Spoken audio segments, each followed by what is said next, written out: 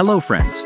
Today I will give you information about how to make the best smooth 60 FPS and 4K render settings after making your edits in After Effects and how to make your photos 4K plus coloring plus background deletion etc. I will give information about HitPaw Photo AI, which has features such as Insert a black and white photo and color it with one click.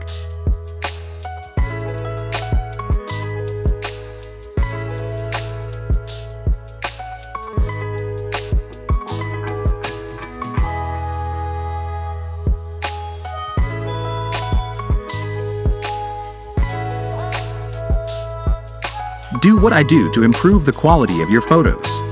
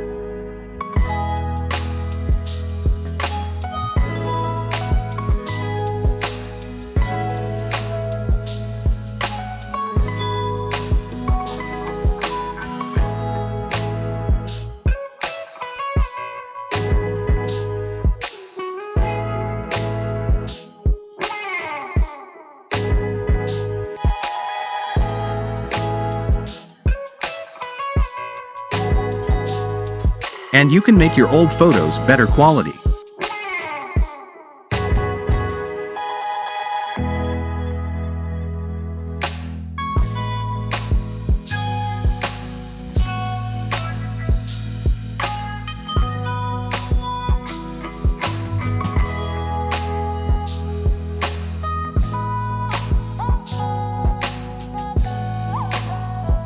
And you can delete something from any photo.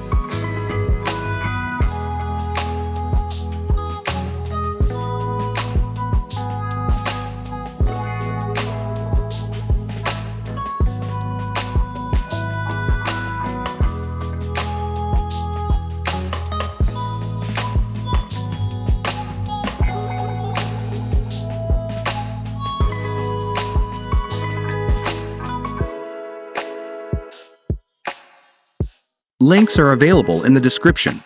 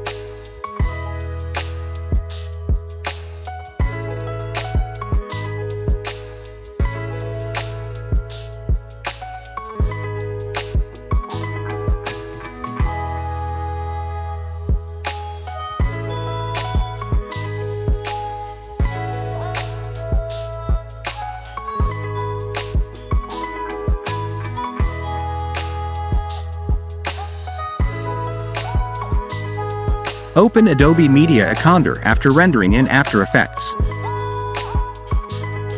Press Add Source or you can add with Ctrl plus L key.